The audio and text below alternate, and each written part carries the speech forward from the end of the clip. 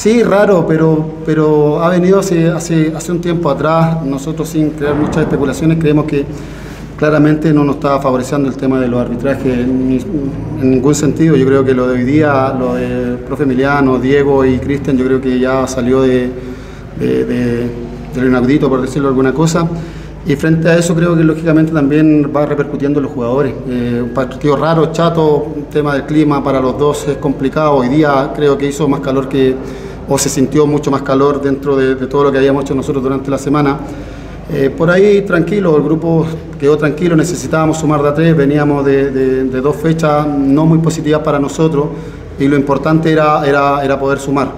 Eh, lógicamente que después cuando te sientes perjudicado hay algo que pasa y no solamente con nosotros, con, con, con Cobreloa, si ustedes ven la primera vez, todos los equipos una vez que marcan un gol les cuesta, les cuesta todavía nosotros no encontramos el sentido por qué, por qué nos cuesta, por qué no empezamos a tirar un poco atrás y empezamos a perder eh, eh, la tranquilidad.